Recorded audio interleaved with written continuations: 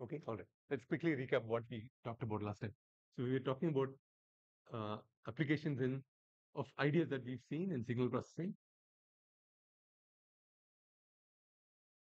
What did we talk about specifically? What did we discuss last class? Right. So when uh, in practice, we always deal with finite duration time domain signals, x of n, uh, and the signal might be defined from 0 to n. Okay, and okay, this is a finite duration time domain signal. How is this related to things that we've discussed in terms of vectors, vector spaces, and all that? Right, we can think since it's a finite set of numbers where the order matters, uh, what value corresponds to what time, we can think of this as a vector from Rn or for Cn. That means this is Cn and this is my origin.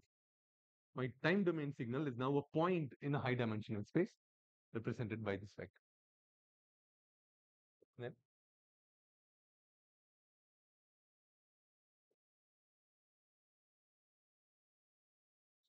right. So if I say my signal x of n takes on values minus 1, 2, 4, 3, 5, 102, whatever, and minus 3. That means my vector x takes on these values. Anytime I assign a value to my vector, that means I'm I'm I've implicitly assumed a basis. And what basis is the time domain signal represented in?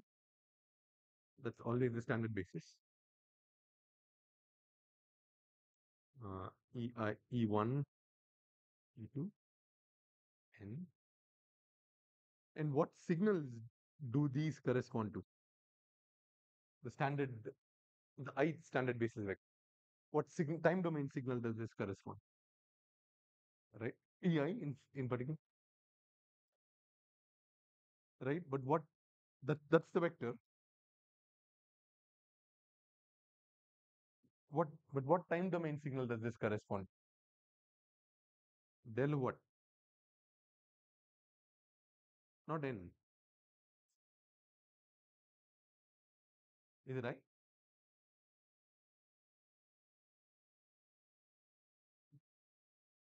n minus i is it?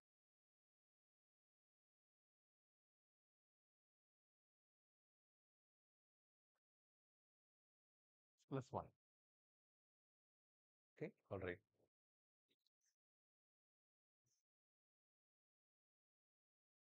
Okay, and then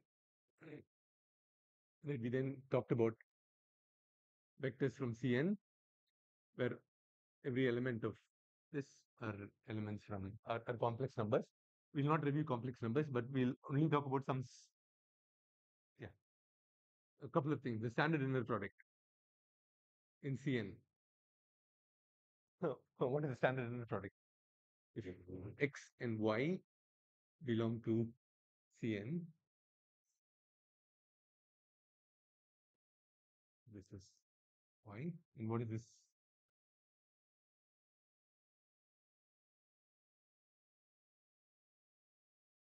It's not correct. Okay, all right. And then, what is the length of a vector now? If if it's from the two norm.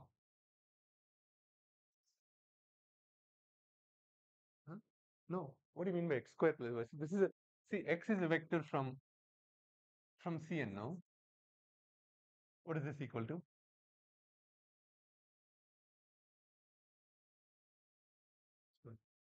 No, no, x is a x is from Cn. No, you understand what I'm saying? X is a vector from Cn. It's not a single complex number. Sorry?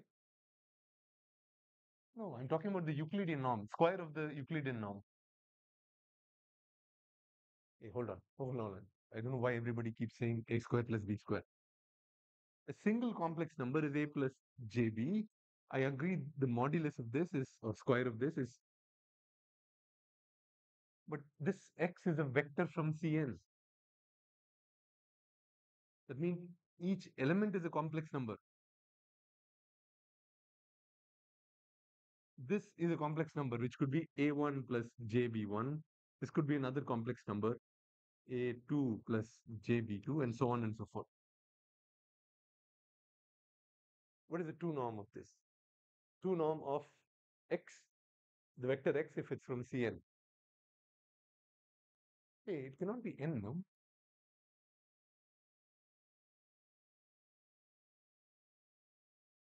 Okay, fine, hold on. If x and y, if, x was from Rn, what was this equal to? Not 1. A- Any arbitrary vector. Okay. Square what? This is simply sum of what is this equal to? So what is it here?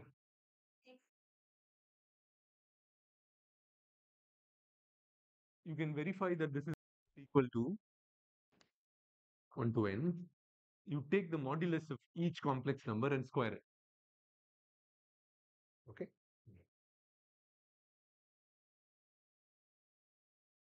Okay. And then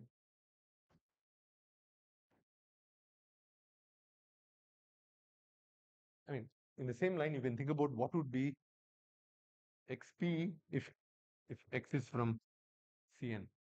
You can think about. I'll not uh, discuss that, but you can think about what it might be equal to. Okay, and then yep. Well, okay. If you have a set of vectors u1, u2, un that form an orthonormal basis for Cn, when would this this set form an orthonormal basis for Cn?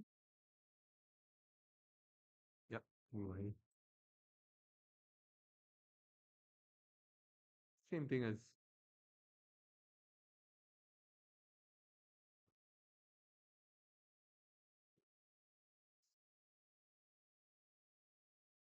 yeah. Okay.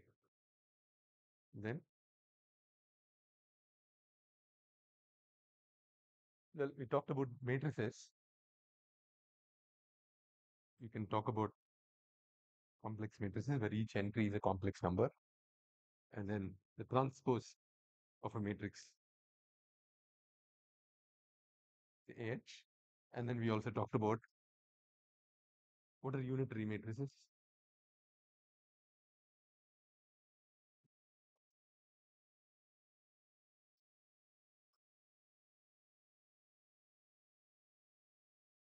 Okay.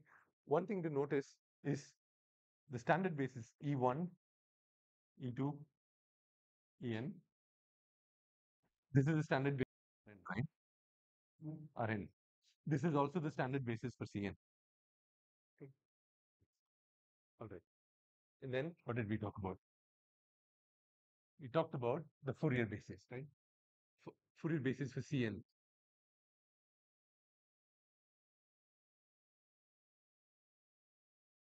What is the Fourier basis?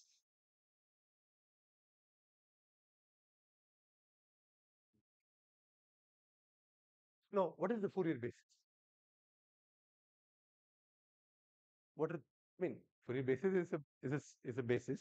That means it has n a set of n vectors from Cn which form a linearly independent set. What are those vectors? If you're if you're specifically talking about the Fourier basis. Yep. So these are vectors of the form e raised to what?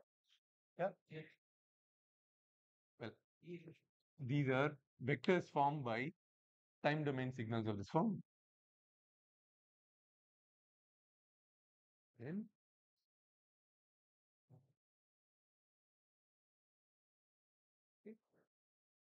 And it turns out that if you have a finite duration signal of length n, there are only n sinusoids where uh, W0 is not W1. There is nothing more, and there is nothing in between. It's just these. Well, I should be correct. Uh, if you're only talking about finite duration signals, then this is correct. But if you're talking about infinitely long sequences, then you can have any frequency between 0 and uh, 2 pi. Uh, whereas if you're talking about finite duration signals, then uh, these are enough. These n sinusoids are enough. Okay. Okay, and then, okay, now, how do we now convert or represent our original time domain signal x of n in the Fourier basis?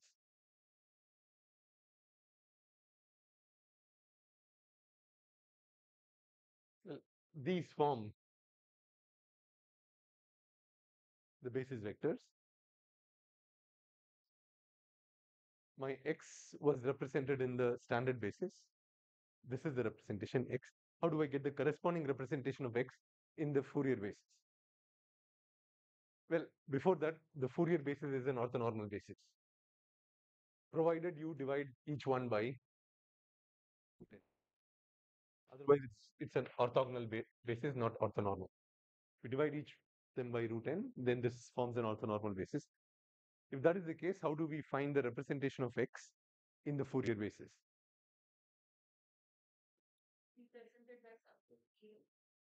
A, what is A? If you form a matrix F in whose columns are 1 and there is a 1 by root n here, then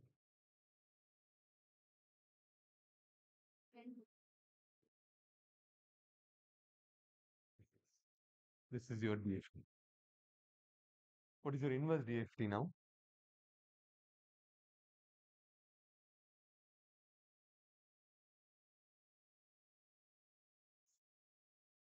Okay, all right. And then we saw an example of um, of a signal uh, that had rhythmic component. And then when we decomposed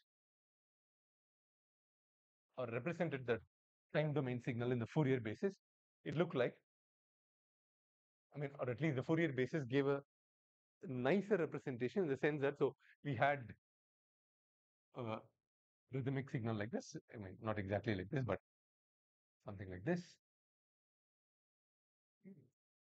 This was of some length n. This is this was your x. And then when we found the representation of this in the Fourier basis, we got the representation representation xf, and that was also of length n. Okay. And this one, uh, I mean, after we removed the mean, had a representation like this.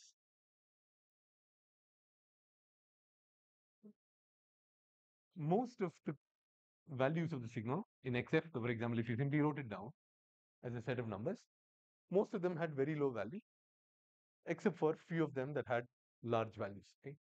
Well, for, for now, let's assume these small values are, close, are zero. And then you had a non-zero value here, and then non-zero value here, non-zero value. Everything else was zero. Okay. Whenever you have a vector, okay, um, that is most that's whose comp whose elements are mostly zero, and only a few of them are non-zero. These are called as sparse vectors.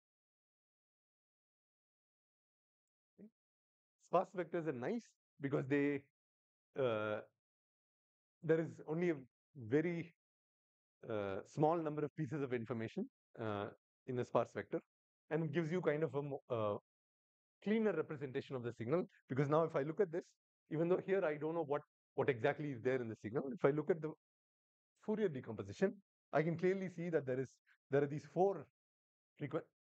The signal is primarily composed of these four frequency components. Okay, whereas the rest of it is all zero. So when in this particular signal, when we chose the Fourier basis, you got a sparse representation of your original signal, which I mean, uh, the original signal, if you looked at the individual values, all of them had were some non-zero values. Okay, so this was not sparse at all. Whereas if you, because the signal had a rhythmic nature, and you chose the Fourier basis, you get a much nicer and cleaner representation. Okay. But it turns out that going from something not sparse to a sparse representation depends on the nature of the original signal and the basis that you choose. So what's essentially happened is that the signal that you had had components that look very much like elements from your Fourier basis. That is why you have a sparse representation. If I had chosen a signal that did not have a lot of rhythmic components, for example, signal like this, okay, the blue or the red line, where the signal was, this is one of the signals, the other signal was like this. There isn't anything rhythmic here where uh, it's uh, going up and down regularly. Uh, and in fact, the signal seems to be seems to have a low value for most times, except for the short duration of time uh, during the this entire time record, where it's changing otherwise flat with very low values. The Fourier basis is very good for signals that have rhythmic components that are spread out across time and they have uh, you know oscillations uh, or they the trends in the time in signal seem to have these oscillations that go up and down. Okay, whereas if you had signals like this that are short-lived in time, they don't exist for all time. They only exist for short periods of time, and we often come across examples of signals like this. For these, if you do the Fourier uh, representation, what you get is shown here. And this is not necessarily a, sparse representation like here. Here, if you only had these four components, you get a good approximation of your original signal. Whereas here, it does not seem like you have a sparse representation. So, it turns out the Fourier basis is not good for signals like this that are short-lived in time or that are transient.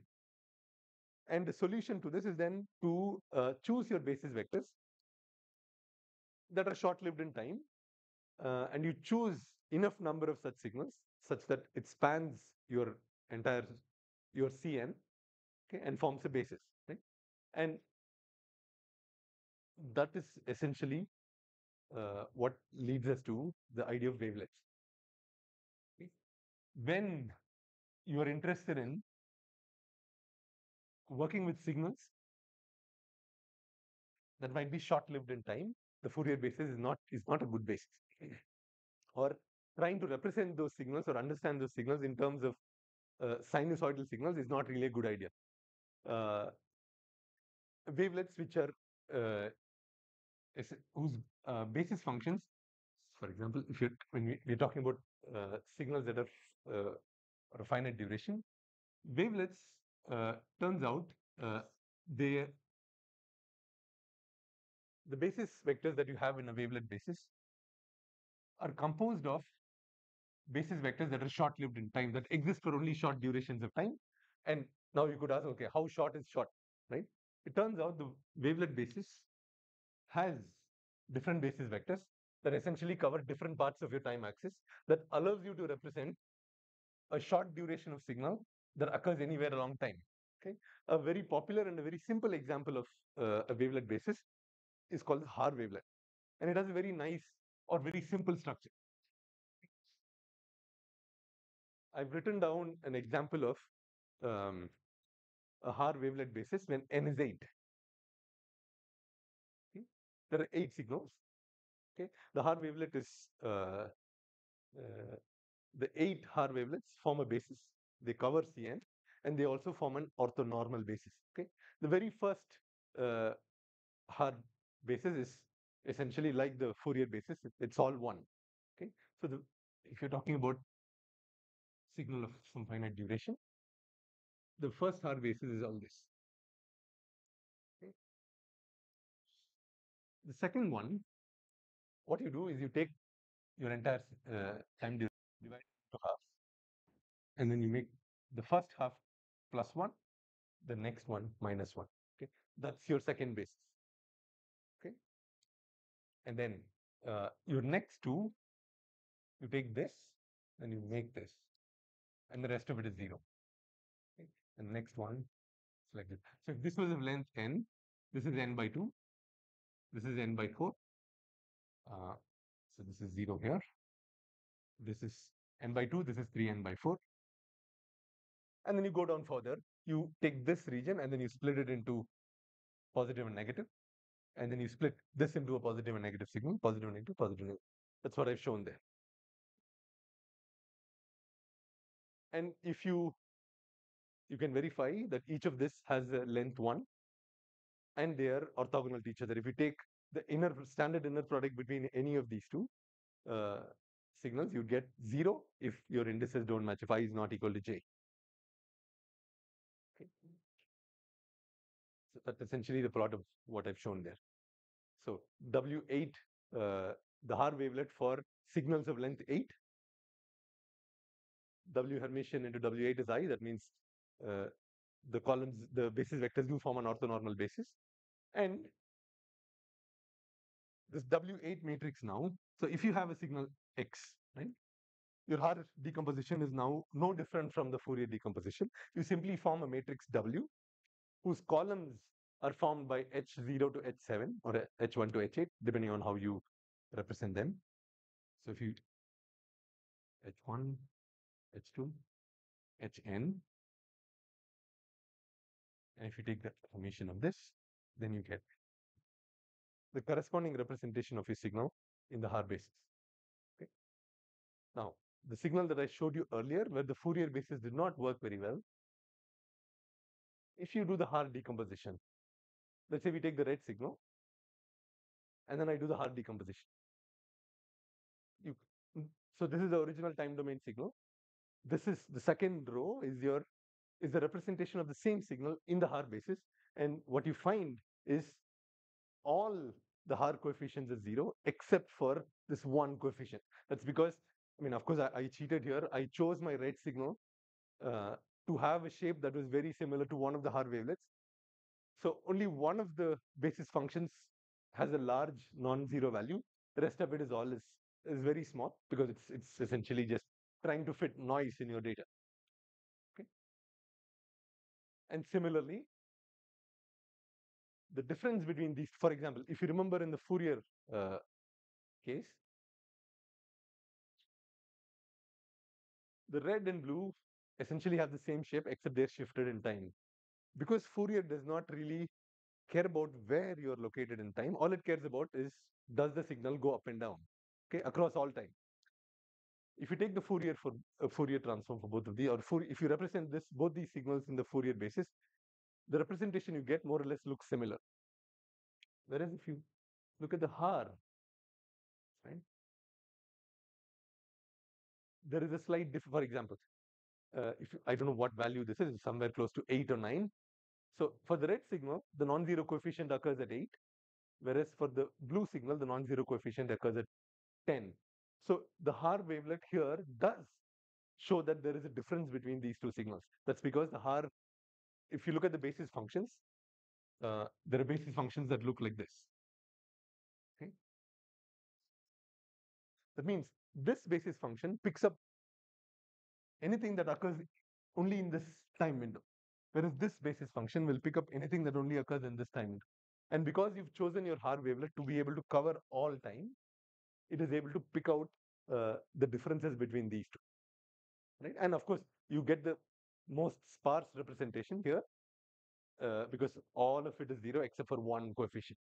That again is because I, I chose uh, your the original time domain signals to match what the Haar wavelet does. Right? So that's essentially, and so that's basically dem to demonstrate that both Fourier analysis and wavelet analysis are not really different from each other. It's essentially us looking at the same time domain signal using the Fourier basis or some other basis like this, like the Haar basis. Now, every other, now if you talk about any other wavelet transform, uh, then all you're changing is the basis in which you look at the signal, basis with which you represent the signal. Otherwise, the essential idea remains the same.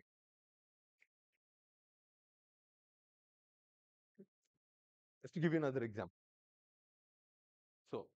In the previous case, the Haar wavelet gave a nice representation because I, I, I chose the signals to match one of the Haar basis functions. But let's say we had a signal like this, right? Eh, this is also time limited. It occurs for a short duration of time. It's like this. Now you take the Haar now you take the Haar basis and you try to represent this signal in the Haar basis. Well, it's not as, it is still fairly sparse because most of these are zero. Except now it says it's got a lot of other, lot of various, uh, lot of Haar coefficients which are not zero, okay? Which essentially means that you need all of these Haar wavelet uh, or basis functions to reconstruct this original signal. And because that sinusoid does not really match any of your basis functions, that is why you need several of these to get that sinusoidal uh, shape that you have. Uh, which is to demonstrate that if you now have a signal which does not match any of your uh, Haar wavelet basis functions, then you'd still get a non-sparse representation. So you might, you can come up with a signal where the Haar wavelet is is got non-zero values for all of its coefficients. Okay, so the basic idea that I'm trying to convey is you might have a signal x time domain signal.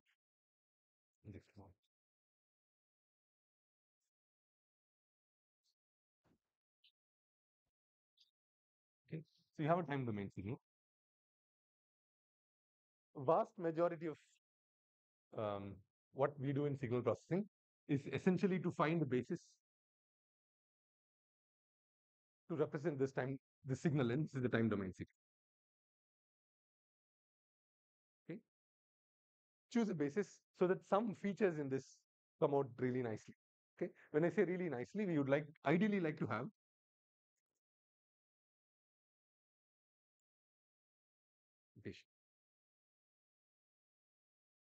if you know something about this signal, and if there exists uh, a basis uh, for Cn, where some of the basis, uh, basis vectors have similarities to your original time domain signal, then you'd get a sparse representation. But if you don't choose your basis correctly, then you're essentially not getting anything useful, right? Essentially, the, this is like you have something that you're looking at. Let's say this is a time domain view. If you say you're looking at it from a different basis, then you're essentially moving around and then looking at it from another angle and trying to see, do I get a better view of, I mean, better understanding of what the signal represents? So it's very important that to get a meaningful view here, a representation here, that there is a good match between your x and your basis, right? It turns out that is very difficult to attain when you have, when you deal with, well, a basis set that only has, well, what is the definition of a basis? It's a linearly independent set. And how many elements does it have? And it spans, span, let's say we're talking about basis for Cn, it has to be linearly independent set. And it has to span Cn. And how many how many element how many basis vectors will it have? It'll have n basis vectors, right? And we said, well, the nice thing about the basis is you can represent any vector from Cn uniquely using these basis vectors, right? Let's see, these are the basis vectors. If you have a basis for Cn, any vector x can be uniquely represented like this. If your goal is unique representation, then this is this is good. But if your goal is to get a simplified representation, okay, then it turns out that a the basis itself is not really that useful. Okay. What is useful is you don't restrict yourself to a basis, but you look at what is called a over complete basis, which simply means okay. This is again a set that has more elements than n. So let, us say we have an over complete basis for Cn.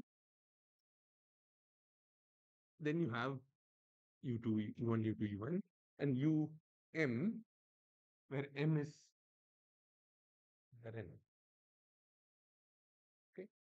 So if you want sparse representation like this, so the current trend or uh, is to look at over complete basis, which will give you a clean representation.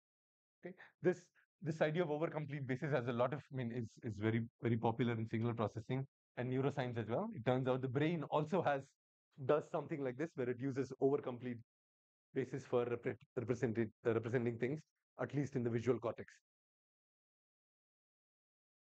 The one issue here is what happens when you have more more vectors than you need to span a space.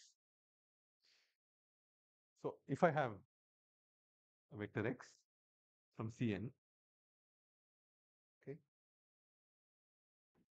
and a, set of vectors u1 to um, I put them in a matrix, and I want to find a representation of x in terms of these vectors. Let's say I'll call this vector b. I want to find the representation of this vector b in terms of these m vectors, and m is larger than n. What is the problem here? And what we want is we want to solve for this x. Right. There are infinite number of possible x's that can represent b. Okay. But it turns out that so of course if there are infinitely many, then you have to have a criteria for choosing uh, what is best for you. So it turns out uh, problems like this are very useful when dealing with. I mean, when you when you're dealing with over complete bases, you're dealing with problems like this, and you solve this again through some optimization procedure. Procedure where you say, give me a solution for this such that x is maximally sparse. That means I want most of the elements in my x vector to be 0 such that if I take this matrix and multiply it by x, I get b. Okay, so we'll look at some of these when we cover optimization in the second half of the course. Okay. With that, I'll stop here. That's all I wanted to say about signal processing. If there are any questions now uh, about matrix inverses and what we've covered now, we can discuss it before we move on to the next topic. Yeah.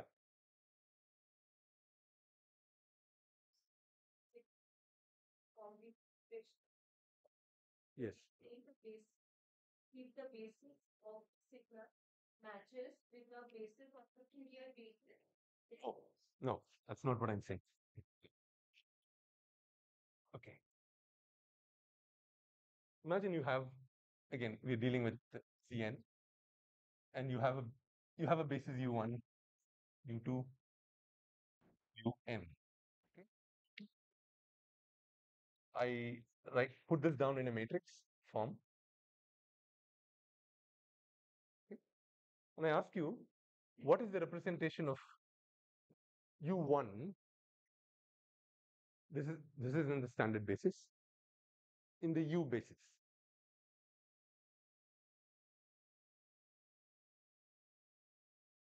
okay what will happen? So okay this is your u matrix. X.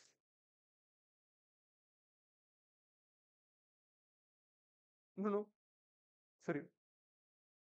X is what is not known. X is your unknown. You want to represent u1 in the u basis. Okay, x is the representation of u1 in the u basis. I'm asking you what will be x. Sure, what will it be? Right, this is correct. So you do this.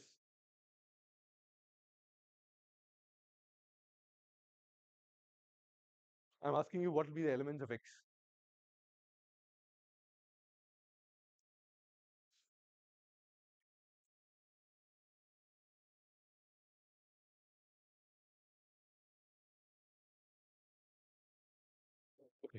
maybe we do we do a simple example. Say u1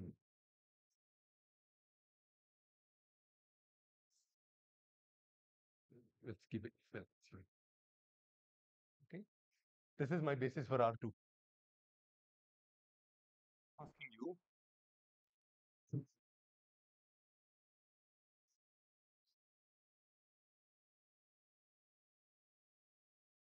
well, this is equal to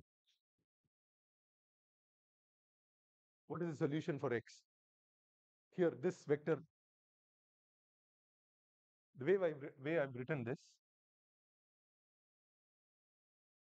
this is essentially ax equals b. I'm saying u1 is in the standard basis. u1 and u2 form a basis for I want a representation for u1 in the u basis. Well, you'd say, well, x is u inverse u1. I'm asking you what is, so I've given you numbers. Can you work out what is x1 and x2? You essentially have to solve this linear equation and solve for x1 and x2 and tell me what you get.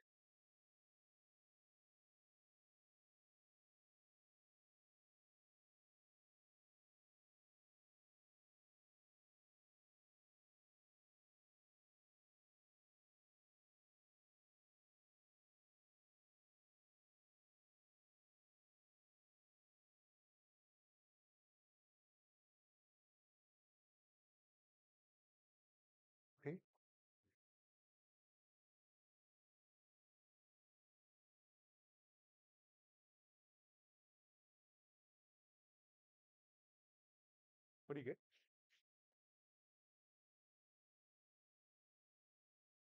But what is 1, 0 in R2? What kind of a vector is this? No, no, no. There is a name for this. It's okay. All right. What if this was equal to u2? Instead of u1, what if I wanted to solve this for u2? So if you solve, so well, I'll call it x. I'll call this x1.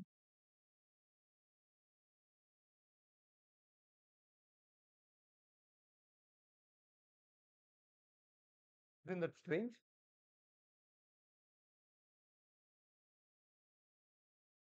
Which basically says the representation of u1 in the u basis is e1. Or look at it another way. Is this representation sparse? It is. Well, there are two possibilities. One of them is zero. So this is a sparse representation. And in fact, uh, it says of u1 in the u basis is 1 for the first basis vector and none of the second basis vector. And that happened because you chose your right hand side to be one of the basis vectors. The representation of u in this is just take u and leave the rest of them. Okay. So this idea of sparsity comes in when you have, let's say you have a lot of column vectors and you want to represent some vector b, the. If b exactly matches one of these, right, then the solution for this will be ei, assuming it matches with the ith column here. It does not match exactly. Let's say this is a combination. This is alpha 1, alpha times b3, or let's say this is a1, a2, am. Well, let me call it an. It's a square matrix.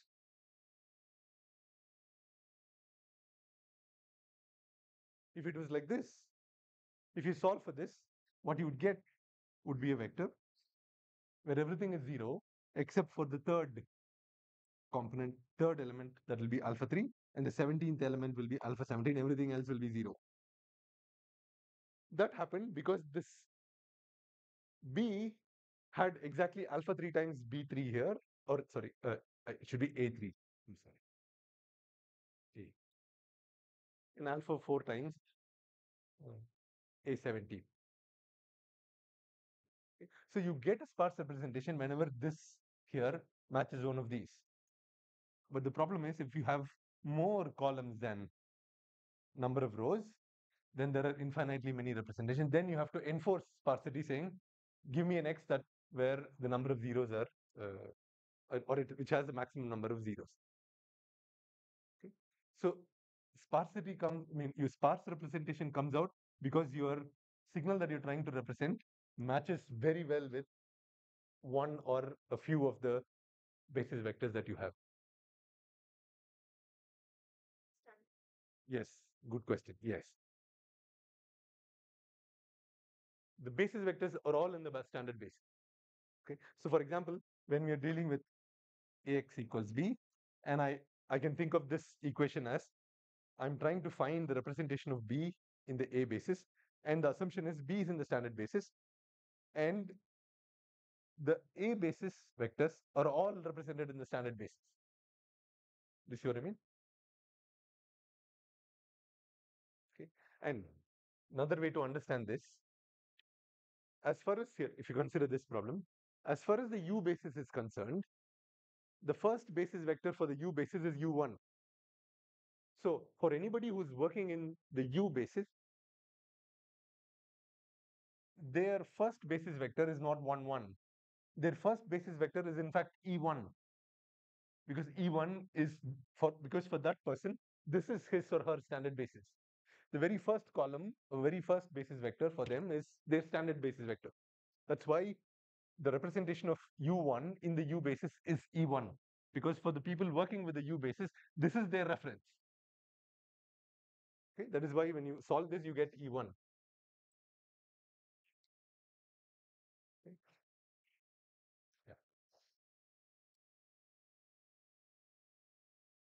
Anything else? Okay, all right. Then we move on to the next topic.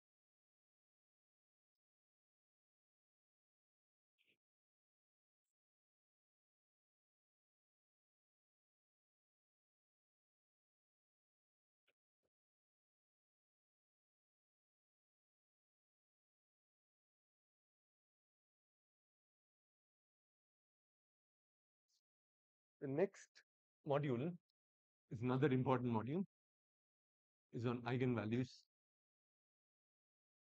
N.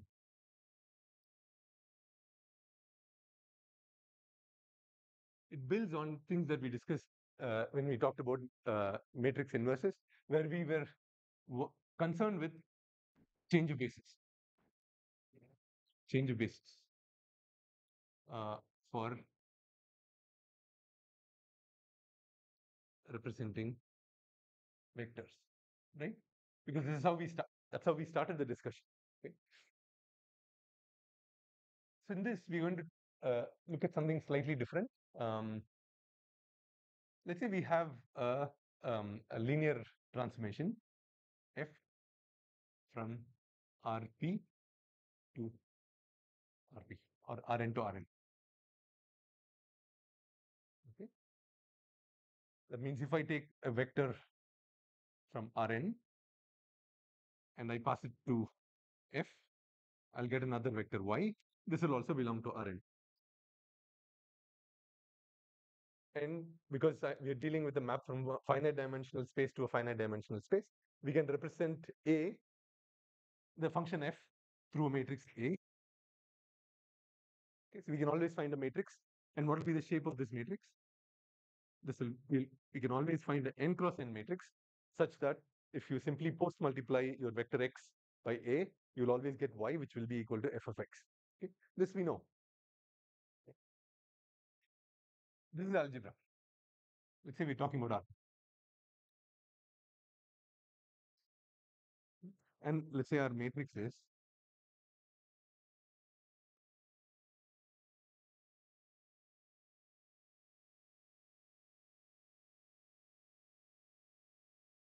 algebra is okay, but I want to understand things geometrically. Okay. I could ask, okay, what is okay? If A represents a mapping from R2 to R2, that means it's taking a bunch of points here and transforming them in some way to produce points here.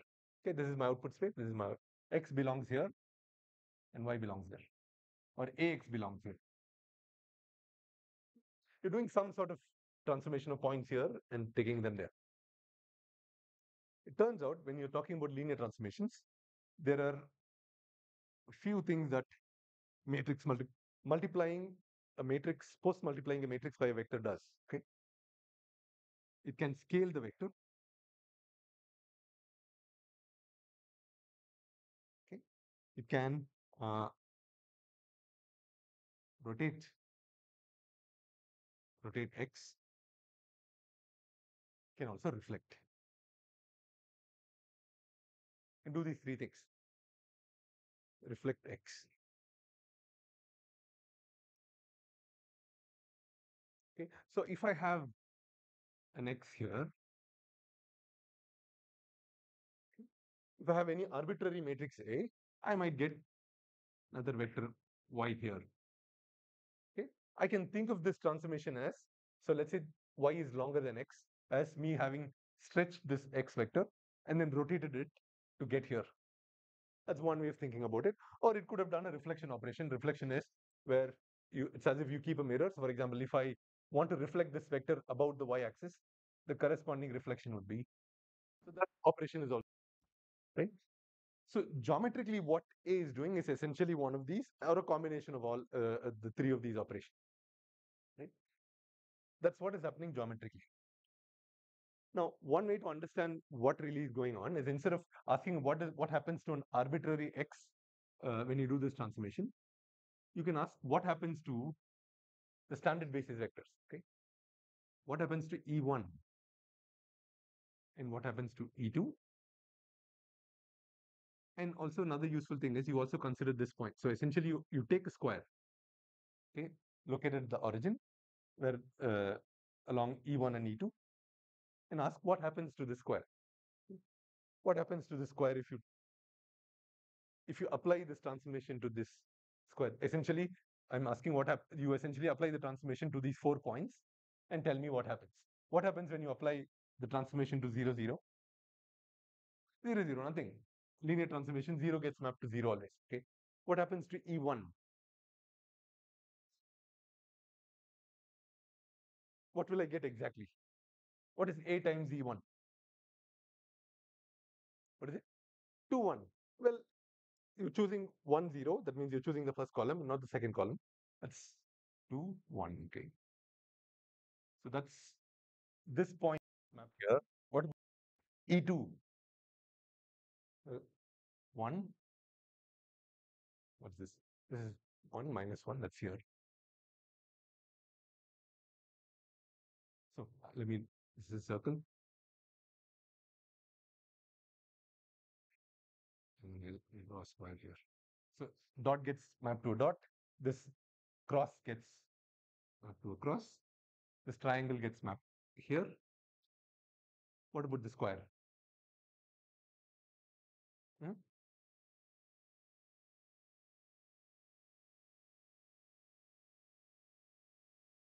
Yeah, what do you get? Tell me where it'll be. What is this point? No, no. What is this point? What is the what is it? Ah, one one. So what will one one get mapped to?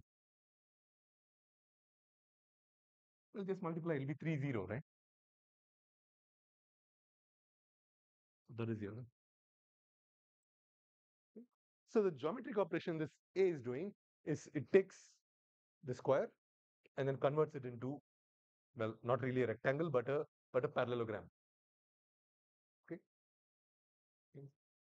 What about a matrix like this?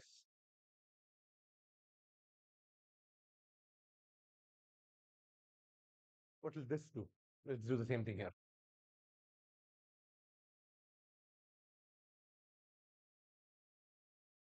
What does this do?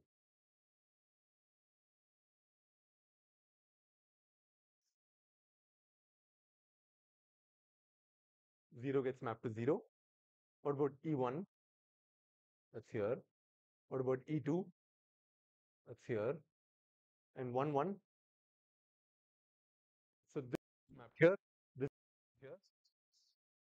What about this point? It get mapped to 3, 3. But it gets mapped to this.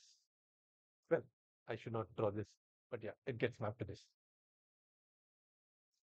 Okay. I just said a linear transformation does these three operations. Can you explain what's happened here using those three operations?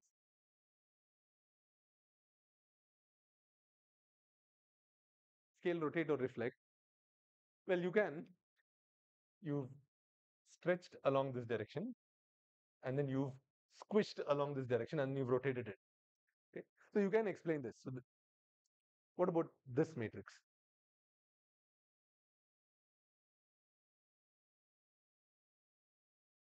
Well, you squish everything to zero.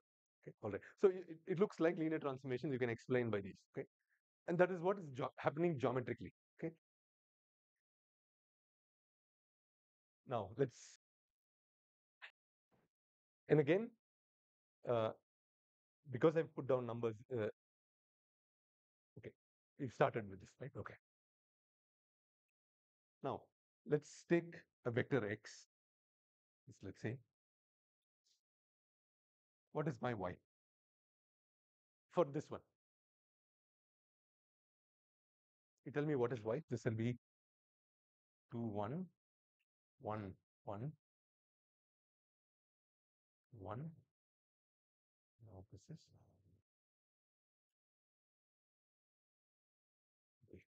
5, 1. All right. Now, I said a vector x and I put down numbers. That means I've assumed the basis. Okay. Let's assume this is in the standard basis. And this matrix A represents this geometric transformation. Okay. That I've shown right here. Okay. Under that geometric transformation, if I take this vector 2, 1 represented in the standard basis, I get a vector 5, 1. And this is also in the standard basis. Now, let's say I don't want, I mean, maybe you like the standard basis, but I don't. I want to work with this weird basis V. Hmm. Okay. I'll just write the matrix. 1, 1, minus 1, 1. I want to work with this. The inverse of this matrix, you can work it out, but I'll just write it down.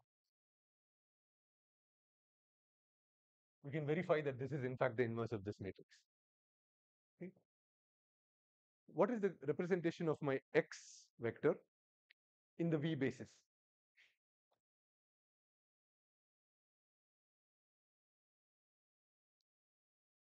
Okay, what is that? So you have to do V inverse x. What do you get? Can you tell me the number?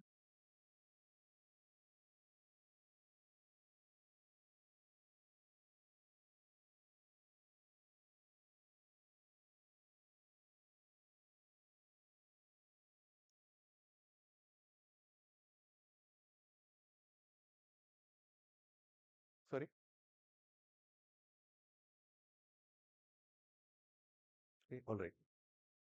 See, both xv and x represent some point here, which is 2, 1, this point. Right? It's just that the standard basis basis basis represented represents it like this. The v basis represents it like this. Okay. But the geometric operation that we're doing, I mean, that is not that does not depend on any uh, the exact operation that I'm doing, stretching and squishing. That does not depend on any basis. Okay? So now, what what would happen if you apply the geometric transformation A on this vector? What what do you get? Can you tell me the number? Or tell me the vector?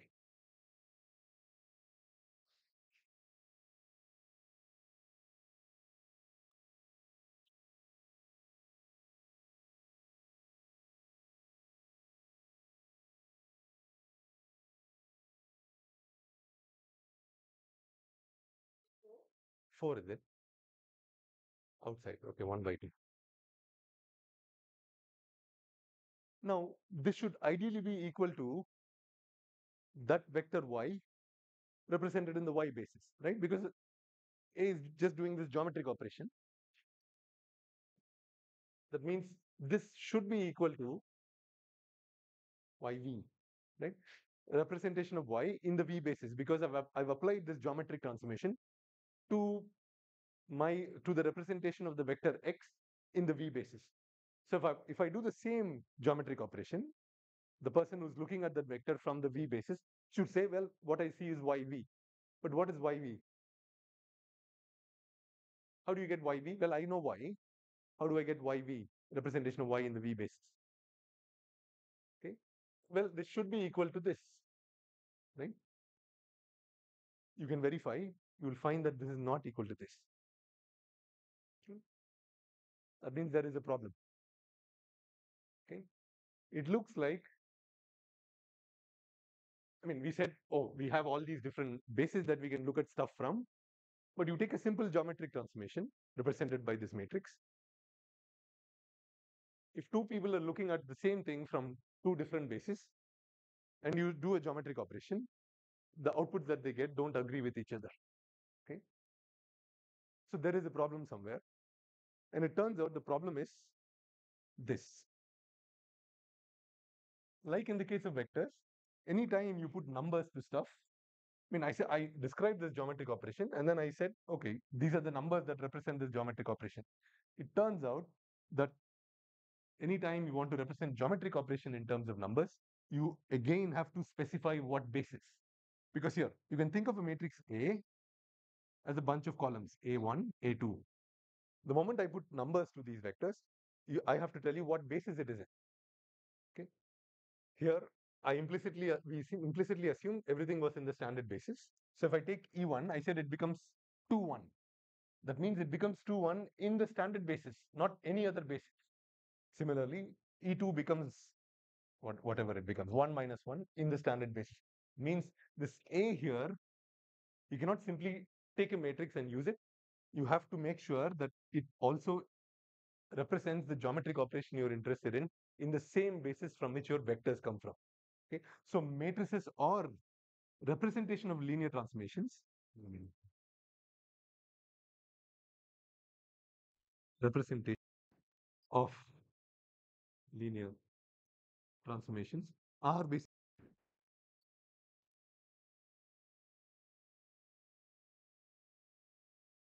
And this A that I've drawn here, this is the representation of this geomet stretching and rotating operation in the standard basis.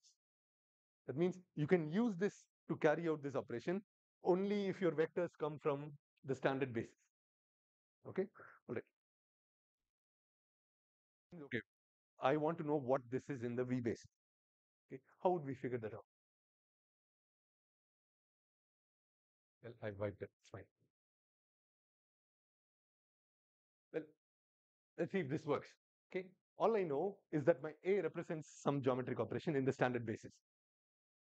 That means if I have my A, if this is in the standard basis, you always think of it like this. Whatever comes to the left has to be in the standard basis. If you put anything else, what comes out does not, might not make any sense. What comes out is in the standard basis. Okay, that means what to have this A represent this geometric operation, you have to put stuff in the standard basis and interpret what comes out in the standard basis. Let's say I, I have xv, I don't have my representation in the standard rep- representation of that x in the standard basis. And I have A, which is this is in the v basis, but this is in the standard basis. What can I do? But I know my v basis, right? I know v and v inverse. Well, I, I can take this. I know this is in the V basis. I convert it to the standard basis. How do I convert this to the standard basis? V or V inverse? Mhm. No, that was a trick question. It's V. Okay. So if you do this multiplication, what comes out here is in the standard basis. Okay. So this is okay. So whatever you, because this is equal to x. Okay. But what we are interested in is this. But what comes out is in the standard basis. What we want is in the u basis. We convert what comes, V inverse. then you do v inverse. Okay. So if you have v and v inverse and your and the geometric transformation that you're interested in, uh, or the linear transformation that you're interested in, in the standard basis, and if you only if you want to work only in the v basis, then all you have to do is you take vectors from v, from the v in the v basis, convert it to the standard basis, apply the transformation, and convert back to the v basis. Or equivalently, this whole thing now, this whole the product matrices is AV or the representation of this geometric transformation in the V basis. Is that clear? Here, this one matrix represents the same geometric transformation in the V basis. What is happening inside? This is essentially the product of these three. Uh, there is a V first, which converts things, and here, because this is representation of the same geometric transformation in the V basis. What comes in here has to be in the V basis, and what comes out here has to be in the V basis. Okay, and if and the relationship between this geometric transformation in the V basis and the standard basis are these two are, are dependent on these two matrices V and V inverse. Okay, and this type of a transformation where you have two matrices A and B you have two matrices A and B, the square matrices? And A and B are related like this. Okay, well, because I've written Q inverse, that means this is an invertible matrix. Okay, and these have to be n cross n because A and B are n cross n. If you have two matrices that that can be written like this, okay, then A and B are called similar matrices. They're similar because they represent the same geometric operation, but in two different bases. But now you have to tell me in which basis. For example, if I can write A like this, and I say both of them represent the same um, uh, geometric transformation, one in the standard basis and one in the Q basis because I'm, I've, writ, uh, I've written matrix as Q which of these two matrices represents this geometric transformation in the standard basis. Right. B is the representation of the geometric transformation in the standard basis and A is in the or the Q basis. Okay. And this type of a transformation is called a similarity transform.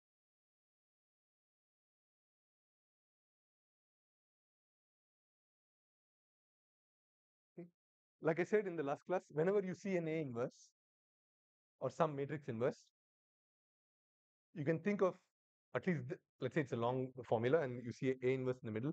One possible interpretation of what is going on here is whatever comes in here, if that comes in the standard basis, you are transforming that into the A basis. And whenever you see stuff like this, where you have a matrix in the middle, Q and Q inverse on the other side, that means you are essentially converting the geometric operation represented by B to the Q basis. Yeah, okay, all right. And you can verify that in fact that if you do this, you will get YV and uh, YV that you calculate, or if you compute AV multiplied by XV, you will get y, YV which will be equal to Y inverse of, or V inverse of Y.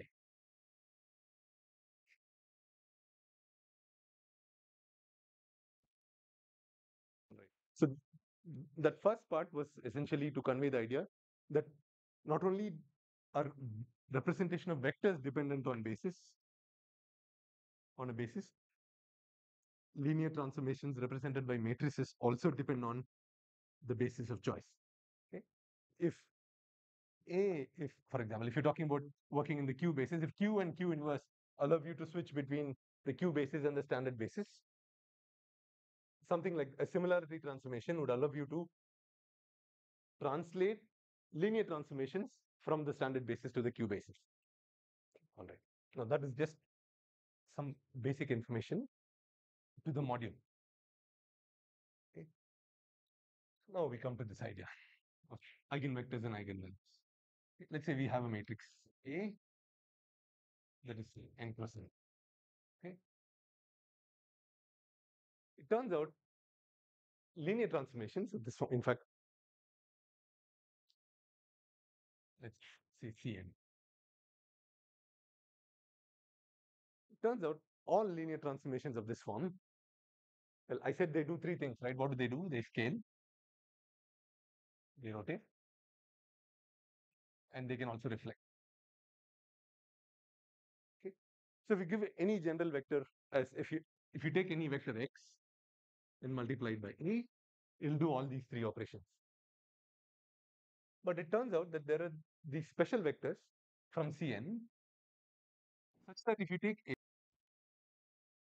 and you multiply, uh, sorry, if you take that vector and multiply it by A, what comes out is essentially this where, well, x belongs to Cn and your lambda is simply a complex number. That means there are these vectors in the in your CN, sorry, example. this is your Cn. There are these vectors x, there is, or at least there is at least this one vector x, such that if you take the vector and multiply, uh, post multiply the matrix A by that vector, what comes out is simply lambda times x. That means the vector does not get rotated, it only gets, okay. And this is again a, a fact about linear transformations. All linear transformations will have at least one vector like this, okay. And vectors like this, who, when you apply this linear transformation and they don't undergo any rotation, they only get scaled, these are called eigenvectors. Or in this case, you s- if x satisfies this, then you say x is an eigenvector of A. And the corresponding lambda here, which is a scalar, is the eigenvalue of or eigenvalue associated with x. Okay, and you have to notice one funny thing here. If you take if ax equals lambda x, right? If I take alpha times if what I will get will be lambda times alpha times x. Okay, so there are infinitely many x's you can choose from such that uh, ax equals lambda x, where the lambda is fixed. For example, if I have an x where this is 2x, if I take 4 times x and multiply by a, what I will get will be 2 times 4 times of x. Okay, so what matters is uh, uh, this eigenvector is this vector from the subspace spanned by x. Okay, uh, so for example, here if I choose any vector along this subspace spanned by x, x will give me lambda x. Okay, and the lambda is fixed. Irrespective of what size I choose x, if I multiply by a, what comes out is lambda times whatever original vector. Okay. And the reason this so this term again, it's a German word, supposed to mean um, characteristic. It turns out that these vectors and this eigen and these and these scalars tell you something inherent about this matrix. Okay, that is why it's called eigen eigenvector and eigenvalue. Eigen simply means characteristics, or it could also be self, I think, or something like that.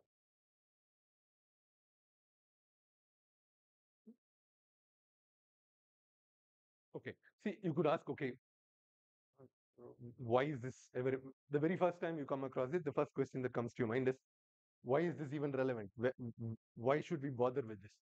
It turns out this is important because it's very helpful in dealing with stuff like this. We'll we'll discuss uh, uh, things like this in the next lecture, but I'll just give you an example. These are representations of linear dynamical systems.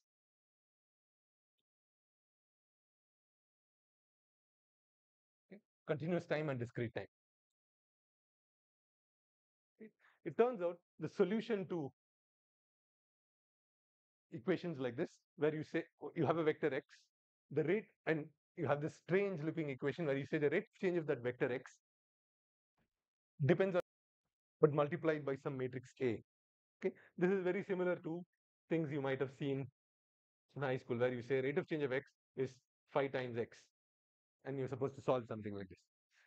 This is simply the generalization of this, except now instead of a scalar here, we have a vector and uh, the rate of change of the vector depends on another vector which is ax. Okay. And we are doing the saying the same thing here. The next value of this vector, next the value of this vector at the time instant n plus 1 depends on the current value modified by this matrix A. These turn turns out these are very useful. Okay. And the solution to this depend very much on this lambda and your uh, your eigenvalue and your eigenvector. Okay. For example, let's say Now, one thing I should notice is these are functions of time.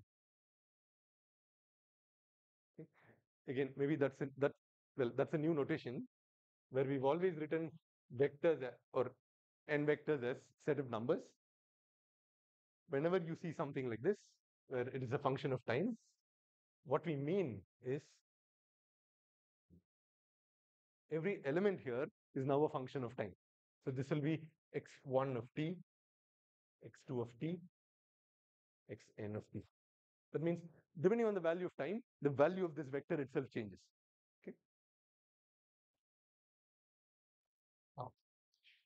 Turns out that if you choose your x of t, let's say lambda 0 and x naught are or lam, x, let's say x naught is an eigenvector of A and lambda naught is the eigenvalue corresponding to x naught. If you choose a solution to be like this, x naught multiplied by e power lambda naught t. If you take the derivative of this, this is a fixed, remember this is a fixed vector. Okay. If you take the derivative of this and you get x naught, what is the derivative of e power lambda naught t with respect to time? It's lambda naught multiplied by naught t. Okay. This is the left hand side. This is what about ax? We've assumed x of t to be so. This will this be? This is a times x naught e power lambda naught t, but x naught is an eigenvector of a with lambda naught as its eigenvalue. That means this is nothing but lambda naught times x naught e power of t, and this is equal to uh, equal to this. Right? So in fact, functions of this form are solutions to equations like areas where eigenvalue are very useful. That means any general solution that you come up with will simply depend on your eigenvalues and your eigenvalues and your eigenvectors. And you can show the same thing to be true in this case as well, except the solution here will be of the form x of n equals x0 lambda naught power n.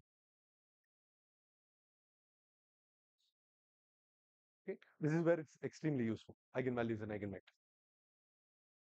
Okay. See, then the question is, okay, uh, uh, given you an example of where this might be useful, then the question is, how do we find out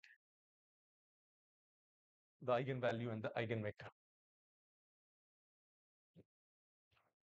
So if you have a matrix A, it's equal to x.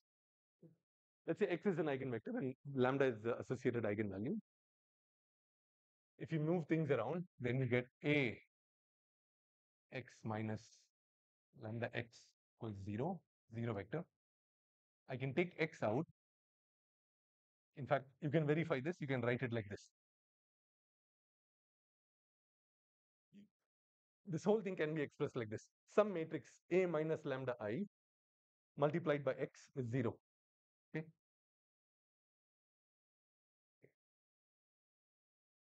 And again, I should notice one thing.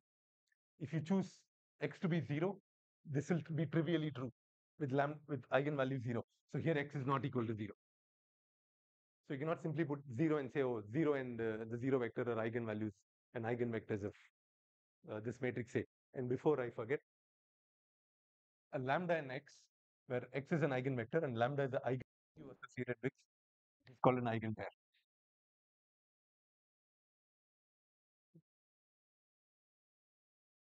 Okay, So what we're saying here is if you take the matrix A and adjust this matrix by some eigenvalue multiplied by i, then this matrix multiplied by some non-vector x and which is the eigenvector gives me 0. That means this matrix now has a null space. Because when I multiply this matrix by some non-zero vector, I get 0. Right? And this eigenvector is in the null space of this matrix. Now the question is, how do we solve for lambda now? To solve this, the standard procedure is you simply take this matrix and find its determinant. Okay, we've not discussed determinant, but I'm going to rely on your prior knowledge of how you compute determinants. We'll do one example, and then maybe that's that's enough uh, to at least get a handle on this.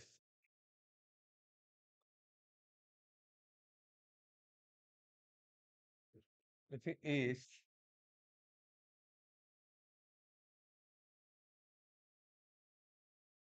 okay. We want we want to find the eigenvalues and eigenvectors First, you take A subtracted by some lambda times i and find its determinant. Okay. What is 8 a minus lambda i? So that's simply 3, 1, 1, 3 minus lambda i is simply lambda 0, 0 lambda. Well, we are still interested in finding the determinant of this. So that means I'm interested in determinant of lambda 1, 1, because 1 minus 0, 1 minus 0.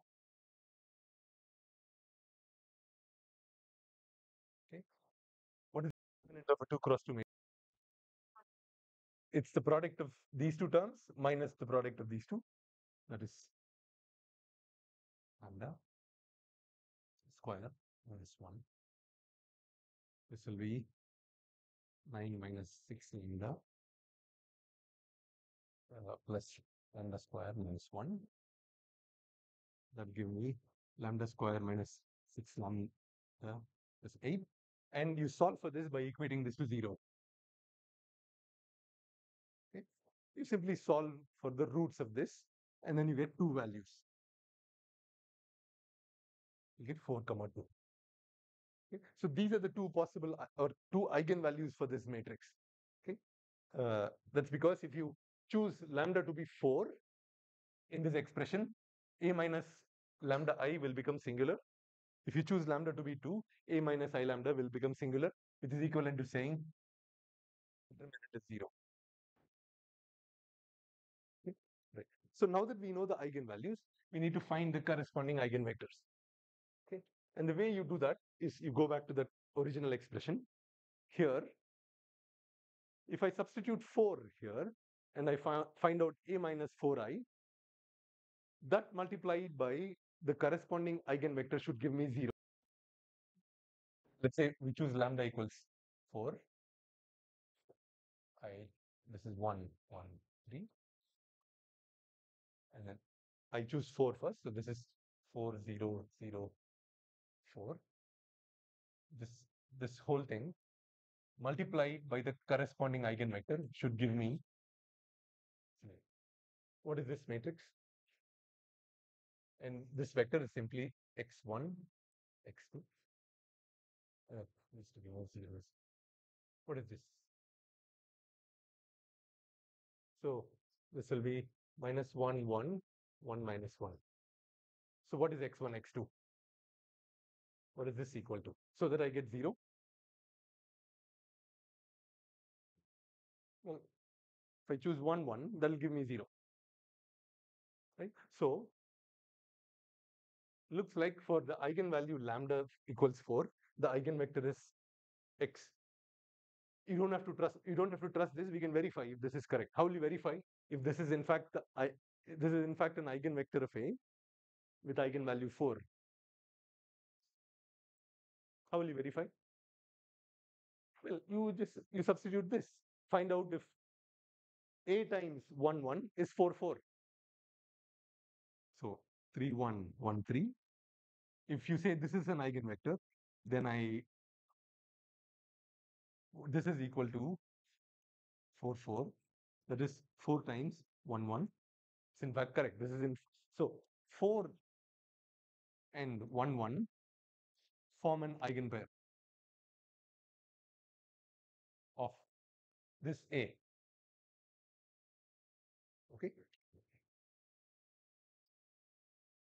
Can you tell me what the eigenvector is for x lambda equals to? Using the same procedure. You do uh, a minus 2i into x is 0 and then you find out x. So for this matrix 3, 1, 1, 3, the corresponding eigenpairs are 4 and 1, 1 and? 2 okay. This is for a 2 cross 2 matrix.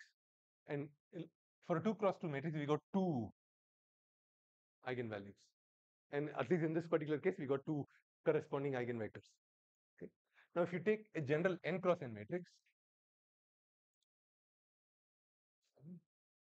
you do the same thing. To find the eigenvalues, you take the determinant of a minus lambda i n and equate it to 0. Compute the determinant, you okay, some p of lambda equated to 0 and find the roots. This will, if it's an n cross n matrix, this will be an nth order polynomial.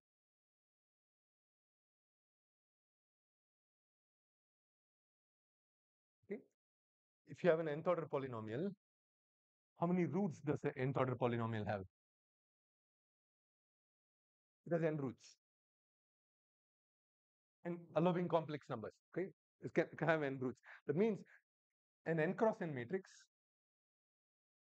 will have n eigenvalues. It's just that the eigenvalues can be repeated. Okay, it can have, uh, uh, if you're talking about here, in this case, we could have come up with the matrix where both the eigenvalues were, say, 2.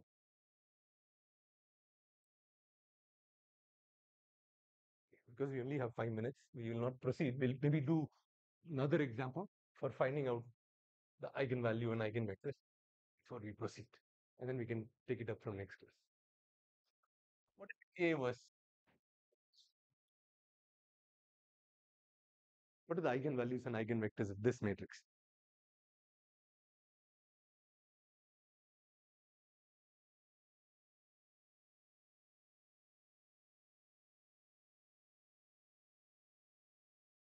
Eigenvalues? Only one, is it? Uh, well, as I said, in this case, it's repeated. What are the eigenvectors?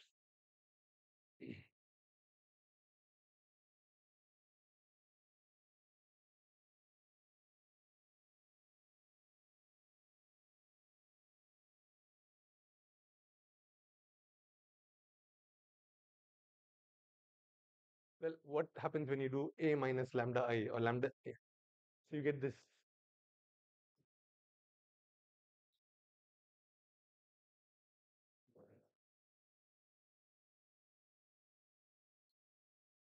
Exactly. Any vector is an eigenvector in this case, and it gets scaled by one.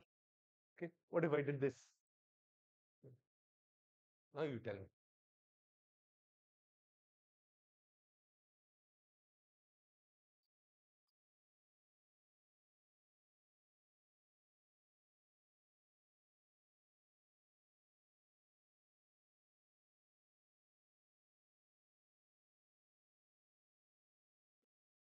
Okay. 2 and 3. What are the corresponding eigenvectors?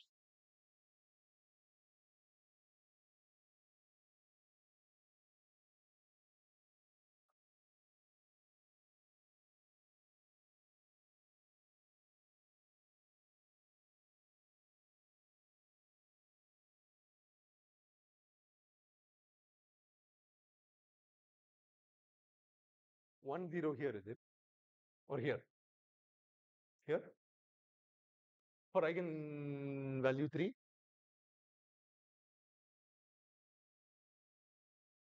Zero one and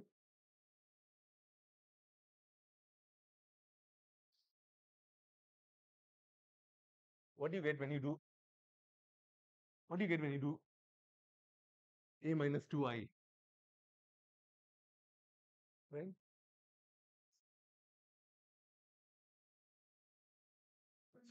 what does x have to be for it to be 0 for this product to be 0 well the first value has to be 0 the rest next can be anything.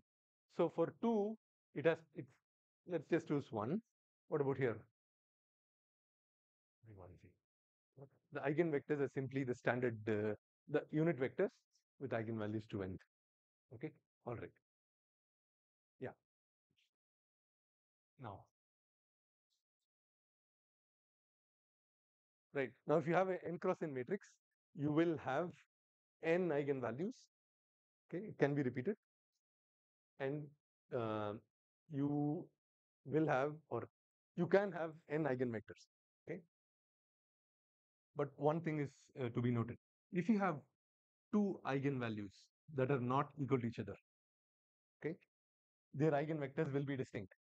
x1 will not be equal. That's one thing to remember. I mean, I said where eigenvalue and eigenvectors are useful. I'll simply introduce the idea now and then we'll discuss this next class. This idea of looking at the eigenvalues and eigenvectors also has uh, um, a useful application in simply fine linear transformations.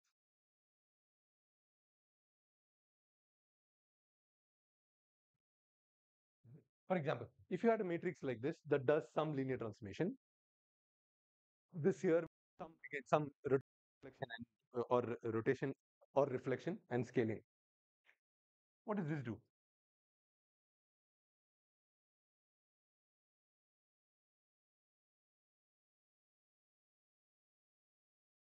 Well, there is no simple answer. Uh, you can think of it two ways.